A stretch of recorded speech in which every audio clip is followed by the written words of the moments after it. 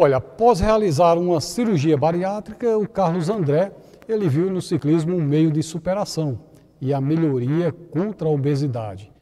Vamos ouvir a história do Carlos André.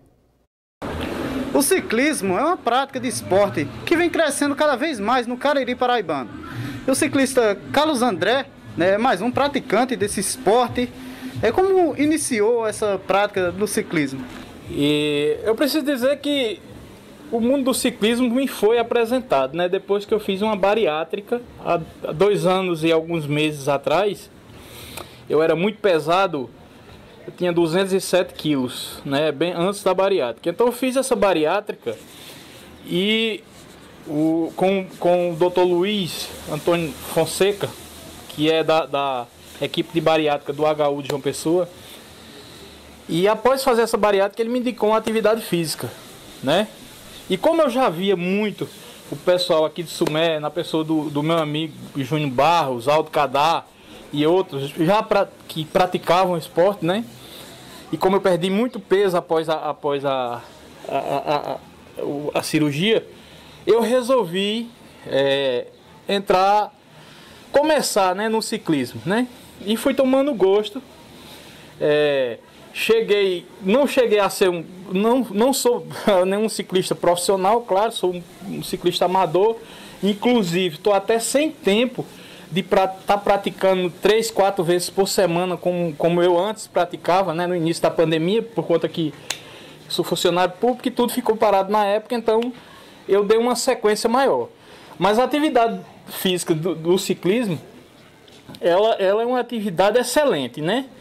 Tanto para você que quer perder peso, como aqueles que, que fazem cirurgia bariátricas, ou qualquer cidadão comum, porque é, hoje o, o, o, acho que um dos grandes remédios né, para o próprio coronavírus é a atividade física, já que me, mexe com toda a sua é, potência dos pulmões e, enfim, né, tá te dando uma atividade aeróbica e, e, e que vai construir seu, seu sistema respiratório, né, reforçar seu sistema de, de respiratório.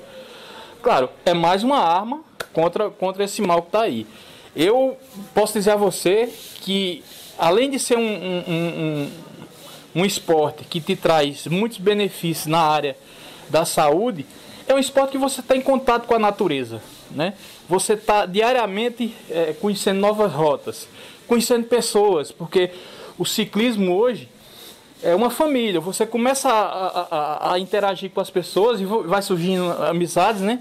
Porque estamos hoje, principalmente agora, repito, nessa pandemia, estamos muito é, é, é fechados, né? Dentro da, das, suas, das suas residências e até do, do seu íntimo, do seu, da, da sua personalidade, para evitar até a questão de, de, de, de, você ficar com ansiedade, com coisa, eu indico o ciclismo. Agora, repito, sou um, sou um ciclista amador, inclusive estou devendo fazer um pouco mais de, de, de pedais por aí, mas é uma atividade super, super é, é, recomendada, tanto pelos médicos como por qualquer pessoa que goste e seja amante do esporte. Aqui no Cariri vem crescendo a cada dia mais. Né? O movimento de ciclistas aí pelas rodovias, estradas, é, são constantes.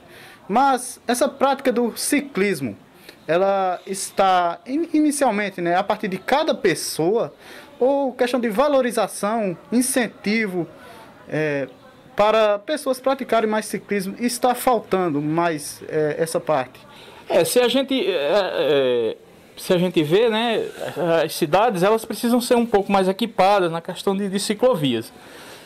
Mas como no interior a prática do ciclismo cresceu muito, sobretudo depois da pandemia, eu acredito que os gestores do Oravante vão equipar, né, com mais ciclovias as cidades, né?